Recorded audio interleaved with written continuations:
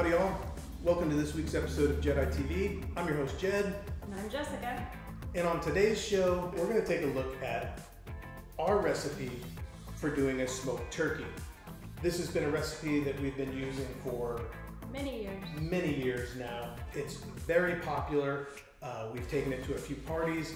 Uh, the time I remember most was when we had it uh, as the centerpiece for our Halloween Christmas party. Mm-hmm. We did Christmas at Halloween. The whole theme was done up with with all sorts of Christmas decorations, and the centerpiece was the smoked turkey as a roast beast from the Grinch. So, having said all that, we're going to take a look at what we use to smoke a turkey. Jessica's going to take us through a step by step for that. You're welcome to share your recipes, how you change or modify a recipe like this down in the comment section. We'd love to hear from you guys. Intro out of the way, let me do what I'm the least good at. Be quiet. So, I failed already. See, I'm used to leading things, so to let someone else take over and do the recipe is hard for me, isn't it? mm-hmm. Okay, but I'll stop. Are you sure? No, Okay. but I'll try. So today we are going to take a 14 pound turkey and we are going to season it up and we are going to throw it in our smoker out on the patio. So the first thing we need to do is get the smoker going. Off we go. Okay, so we're out here on our patio where we've got our char griller uh, barbecue. Uh, I got this for my birthday many, many years ago. And I set it up so that it also had the smoke box attachment. So this side is our charcoal side with our smoke box. When I put the charcoal in the smoke box, it will fill this up and we will be able to smoke in this side. So that's what we're gonna do. But to get it started, we need to start the charcoal. And I like to use a charcoal chimney instead of lighter fluid. So it actually has a burner over here that we can just come in and start that. And it's gonna take it a few minutes. We're gonna let it go ahead and uh, get cooking. Come out here in a few and shut it off and just let it get so the charcoals are all ashed over and nice and white before we put it in the smoker. So, I- I'm just curious, would this speed up the process? No, and you should step away. if I Step away. if I Step away from the barbecue. Jed, step away. Him and his black powder. God. Okay, so now that we've got the charcoal chimney going, we're going to go ahead and start prepping the turkey. The first thing we're going to do is put together the aromatics. This is what we're going to put in the body of the turkey to let it give it uh, uh, an aromatic uh, scent to the bird.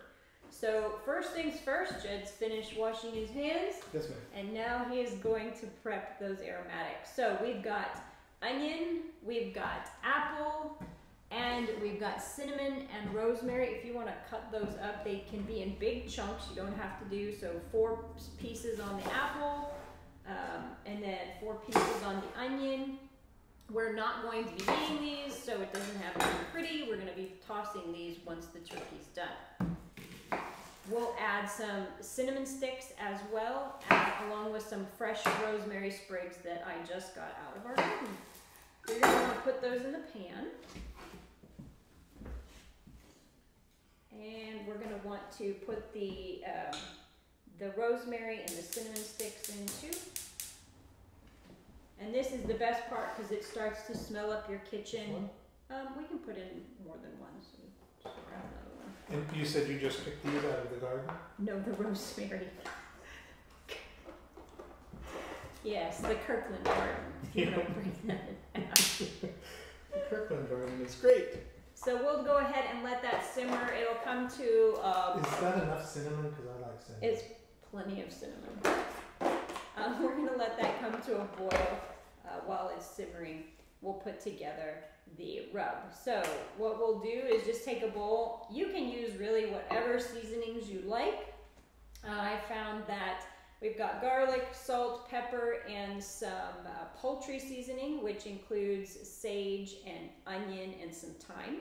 So we'll put, uh, you'll grab those four, and we're gonna just mix them into this bowl however you see fit. And again, it's really up to the size of the bird and your preference regards to how much seasoning you use. So I'm just gonna pour some of this poultry seasoning in there. Plenty of garlic, because we love garlic in this house. Garlic. Okay. And So, then- and then that makes me wonder, why don't we put garlic inside the cavity of the burger? Have we tried that? Um, we have, but it really, with the onion in there, it's just best to leave the garlic on the outside. And then just a little bit of salt. I'm not a huge fan of salt. Oh, come on, put some more salt in there. A little bit more pepper in because I am a huge fan of pepper. Oh, okay, and there goes my blood pressure. So now just mix that up. And so what we're gonna do now is we're going to rub the turkey down with a little bit of olive oil. Mmm, a little turkey massage. Yes, turkey massage. And so you'll want to pick the whole pan up and and get the olive oil. You can uh, you can either pour it in your hand or you can just rub it, uh, pour it on the bird and rub it around. Either way, just make sure you get the legs and the wings. Just Oh, rub yeah. it all over. I know how to give a massage. Be careful. this is this is a family show, it is a family. and. I realize that turkey looks a little bit inappropriate, but this could go the wrong way very quickly. It definitely could, and I'm gonna keep it family friendly. You But I'm more gonna need oil? some more olive oil for sure. Okay. Starting to smell good. So now what we're gonna wanna do is sprinkle this on and make sure we get it all over the place and you can just rub it into the skin of the bird. I'm gonna start with that.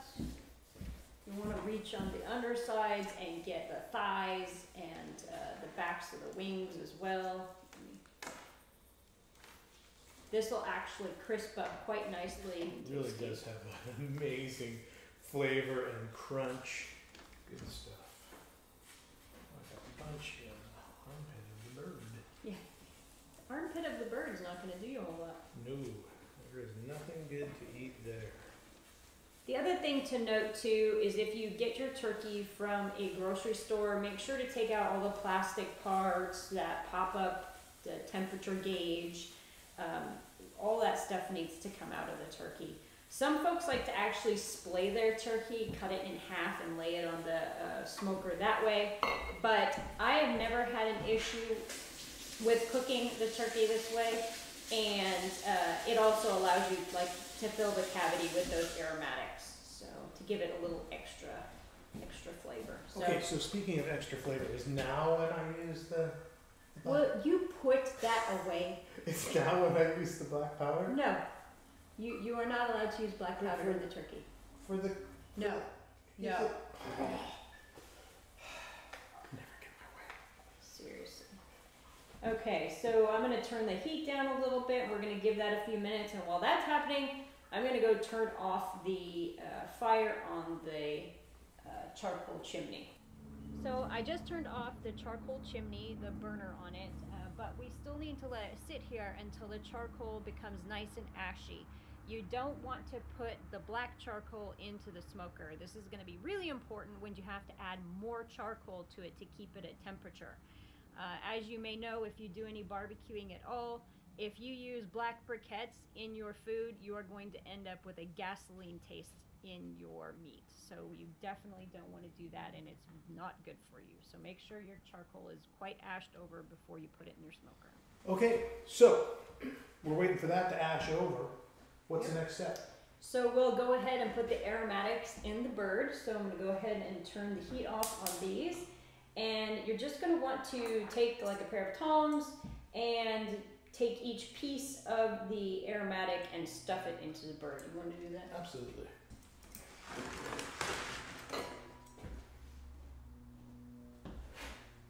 Be careful, it is hot. While he's doing that, you know, we just thought that this would be a fun thing to do now that we're in the new house and we've got this big new kitchen. So let us know what you think about doing more recipes, more of our um, traditions. Uh, that we do for the holidays or what have you. We also really love to bake. Little known fact Jed used to own a dessert shop, just saying.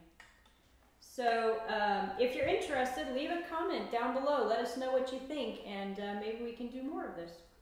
And also, while you're down there and while we're talking about cooking, I am going to put a link in the description of this video to Mr. Purgatory Smith, my gunfighting pard for the last two decades. He has a cooking channel, and that man can cook. So, look for a link down below to his channel. In fact, he just made a special recipe just for us. Recently, he made a uh, where you take the, the Fritos and you put all the it's like Frito nachos in a bag. Um, he made that recipe just for us. Here's a little glimpse of that, and look for the rest down in the description box, a link to his channel. Hey, all you gamblers, gunfighters, time travelers, and Nerf gunners out there in Jedi TV land.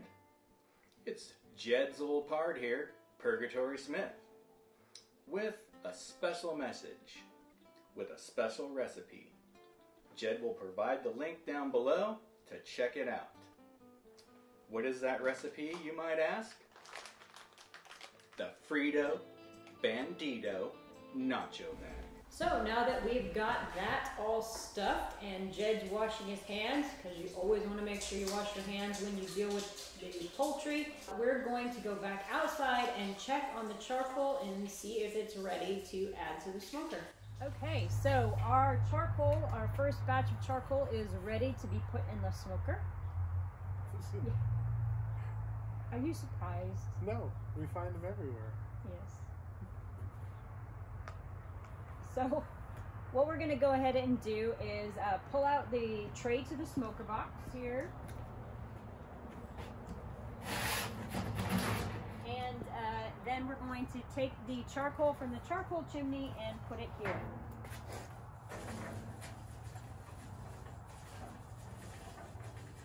We'll also get another batch of charcoal going so that it's ready to go on top of this one when it's done. A Couple things to note is you do want to control your airflow when you're smoking. So you'll have, I have a control up here for the uh, air that's coming through. And then I also have a control on the smoke box here that I can open and close. So you'll just want to gauge how much you should, uh, how much airflow you should have in your box based upon your temperature gauge. So right now we just put it in here and it's just climbing up over 100 degrees. When you're smoking your turkey, you want to keep it anywhere between 225 and 250. That's your optimal temperature for smoking the bird. So And- uh, keep that in mind. And a cool day like today, it's 46 degrees. Yes. That'll be a challenge. It'll be a challenge. Uh, another challenge is wind. So Right. if you have, if it's cold and windy, good luck. We've actually had that happen one time where I had to bring the bird in and finish roasting it Yeah. because it just was not going to happen. So yeah, keep that in mind. A nice sunny day like today, we don't have a lot of wind. It's 46 degrees. We should be okay. Uh, we just have to keep a good close eye on the temperature gauge because you definitely don't want to cook poultry too low of a temperature. Okay, so we're going to go ahead and let that get uh, heated up and start another round of coals and then we're going to come back and add the wood for the smoking part. So our second batch of charcoal is not quite done yet, but it's almost there. But our temperature in our uh, smoker is actually at a little under 250 degrees right now. So what we're gonna do is we're gonna add the wood chips to it. The wood chips is what's going to create that smoke that's going to give the meat the flavor. You can really choose any kind of wood chips that you're looking for. There's all kinds like maple and cherry. Uh, we're gonna use maple today uh, for our turkey. Thought that would be a, a good uh, flavor to add to it. And so basically, I know there's lots of different methodologies out there. Some people like to smoke to soak their chips before they put them in. Some people says that creates an, uh, an acid taste. Uh, I've just found the best thing to do is just put them on top of the coals and let them smoke. The one piece of advice I will give you is do not add your meat to the smoker too soon because if you have too much smoke in there, then that's all you get to taste with the meat. So just be very careful about when you actually add your meat. So I'm just gonna pull this up here and uh, grab some handfuls of wood chips.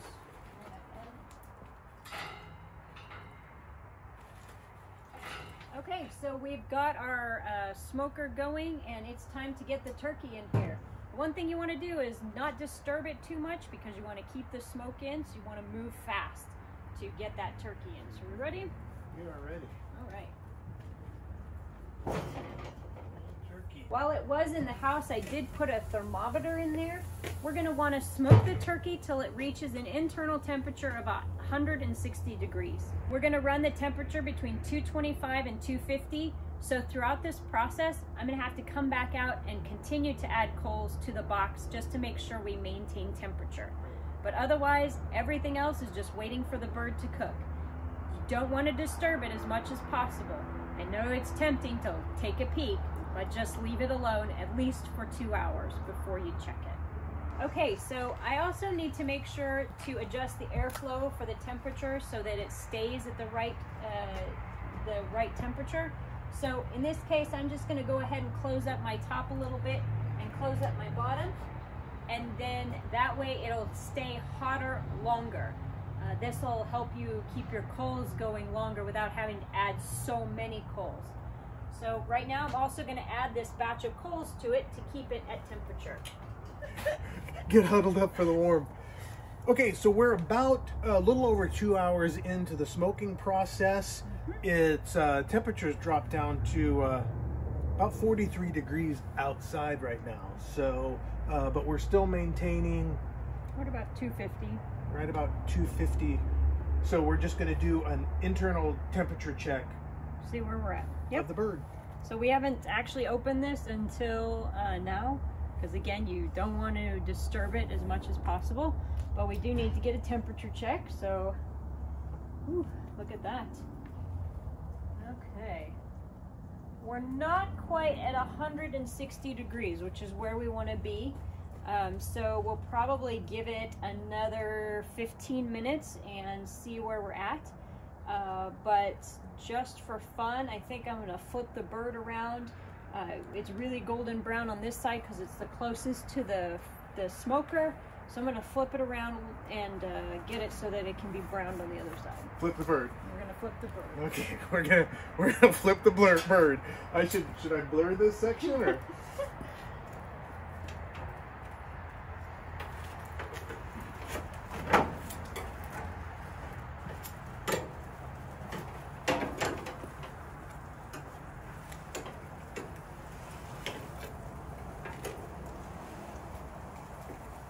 All right.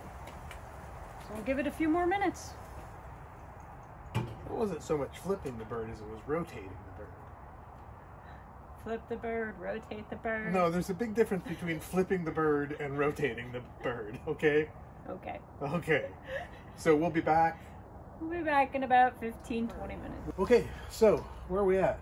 We are at three and a half hours total.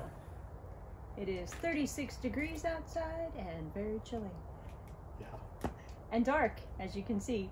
So uh, I believe our bird is ready at 160 degrees. So let's take a look. Oh, yeah, that looks good. And we are good temperature wise. So why don't you take those spoons and utilize them to lift the bird. Up, up. Over here. There we go. All right. Look at that. Let's take it inside and uh, get a better look. Oh, yeah. Oh, and the smell. Oh, if you guys had smell-o-vision on Jedi TV. Mm.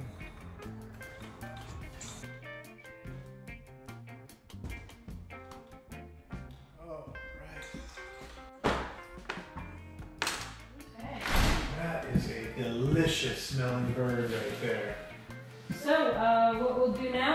Give it about 15 minutes to rest. so that all the juices settle. It will continue to cook and raise its internal temperature by another about five degrees while we sit and wait for it. So uh, next up, we'll be trying it out. Get rid of the uh, aromatics that we put inside the bird because we won't need those anymore before we go ahead and cut it up. Oh, it smells so good. Cinnamon.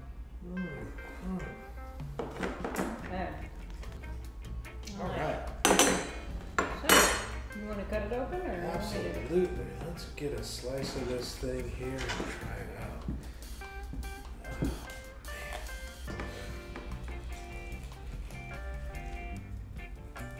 And it's still nice and moist too. Look at that. Very, very hot. I'm gonna let you take that. Hang on to it for just a second. Where you going? Oh, we get a plate. Oh, we're gonna be civilized?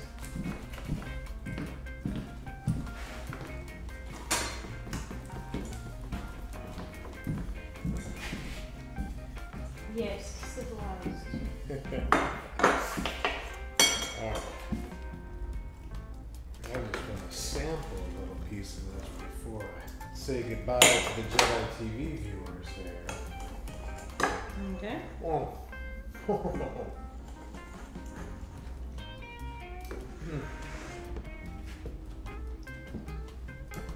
Mm-hmm. That that is really good. That came out delicious. I hope you all enjoyed this episode of Jedi TV and a sort of behind the scenes look at how we do things here at the new place. Glad to have you all with us. I'm Jed, I'm Jessica. And we'll see you in some other place. In some other time.